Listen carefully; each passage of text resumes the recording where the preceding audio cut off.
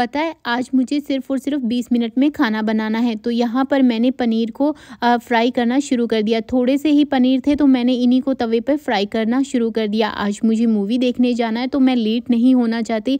बस 20 मिनट बचे हैं तो मैंने फटाफट से पनीर को थोड़े थोड़े फ्राई करना शुरू कर दिया। और इसी के साथ में एक चमटे की मदद से इनको अच्छे से पलटना भी शुरू कर दिया। जैसे ही ये फ्राई हो जाएँगे, अच्छे से वैसे ही मैं इनको निकालूँगी लेकिन यहाँ पर ये धीरे धीरे करके फ्राई होना शुरू हो गए हैं।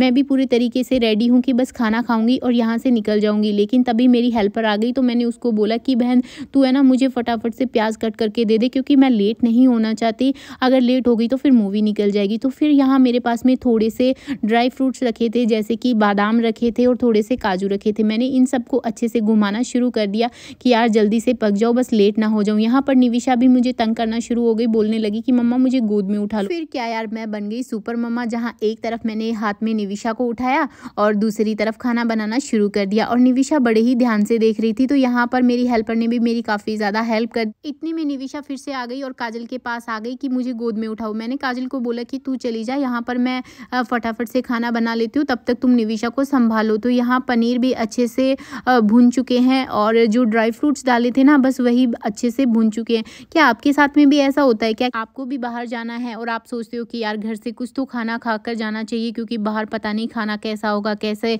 तसल्ली मिलेगी पेट को। तो मैं तो यार अक्सर ऐसा करती हूँ, अगर आप भी ऐसा करते हो तो फटाफट से मुझे कमेंट करके ज़रूर बताना। और यहाँ पर आप देख सकते हैं कि ड्राई फ्रूट्स और जो पनीर है वो अच्छे से भुन चुके हैं और मैंने इन सबको निकाल दिया है। अब बारी आती है थोड़ा सा तड़का लगाने की। तो तड़के के नाम पर मैंने यहाँ पर थोड़े से लौंग लिए हैं, दालचीनी ली है और तेज़पत्ता भी ले लिया है।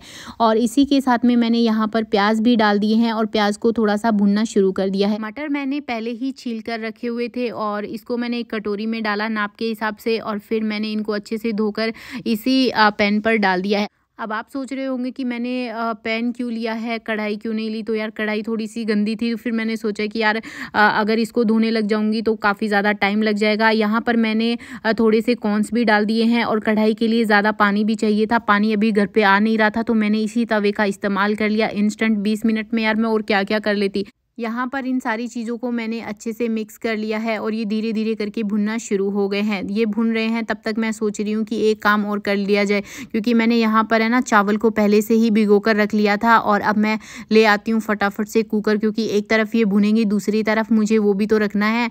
आ, कुकर कुकर में मैंने आ, पानी थोड़ा सा पहले ही डाल दिया था और इसकी साइड भी पलट दी है और अब ये पानी वाला जो है चावल वो मैंने इसमें डाल दिया है और थोड़ा सा ऊपर से पानी भी एक्स्ट्रा डाल ही दिया है कि ये बॉयल होगा तब तक मुझे इसमें थोड़े से मसाले भी डाल लेने हैं क्योंकि काम बहुत ही जल्दी करना है। जैसे मैंने आपको बताया कि मुझे बीस मिनट में ही सारे काम ख़त्म करने हैं। यहाँ पर मैंने जो जो मेरे पास मसाले थे, जैसे कि लाल मिर्ची, नमक और गर्म मसाला, ये सारे मसाले मेरे पास में पड़े थे तो मैंने इनको भी डालना शुरू कर दिया। इसी के साथ में मैंने सोचा कि अब ड्राई फ्रूट्स को भी अच्छे से छोटा छोटा कट कर लिया जाए। लेकिन यार ये क्या? तभी मेरी नज़र मेरे सूट पर पड़ गई और मैंने देखा कि किस तरीके से मेरा जो सूट है वो पूरा आ, मतलब थोड़ा ऑयल से भर गया है और फिर मैंने कहा यार अब मैं क्या करूँ? लेकिन तभी बोली निविशा कि कोई बात नहीं मम्मा आप दूसरा सूट पहन लेना लेकिन यार अब क्या करूँ? काम तो मेरा और बढ़ ही गया है। फिर मैंने सोचा कि कोई बात नहीं आ, इस सूट को भी चेंज कर लिया जाएगा लेकिन तभी यहाँ मैंने देखा कि किस तरीके से काली मिर्च भी ख़त्म हो गई है और मैं ज़ोर ज़ोर से इसको झाड़ रही हूँ कि शायद थोड़ी सी काली मिर्च निकल आए क्योंकि चावल में जो है वो काली काली मिर्च काफ़ी ज़्यादा अच्छी लगती है काफ़ी अच्छा फ्लेवर भी देती है तो इसीलिए मैंने काली मिर्ची का यहाँ पर थोड़ा सा इस्तेमाल किया है ज़्यादा इस्तेमाल नहीं किया। इसी के साथ में आ, ये जो मैंने मटर प्याज और कॉर्नस भुने थे वो मैं इस प्या चावल में डाल रही हूँ और इससे इसका जो स्वाद है, वो दोगुना तिगुना हो ही जाएगा। तो यहाँ पर सारी चीज़ें मैंने डाल दी है। अब सोच रही हूँ कि इसी में मैं यहाँ पर ड्राई फ्रूट्स भी डाल दूँ, क्योंकि ड्राई फ्रूट्स है ना, काफ़ी ज़्यादा अच्छे लगते हैं।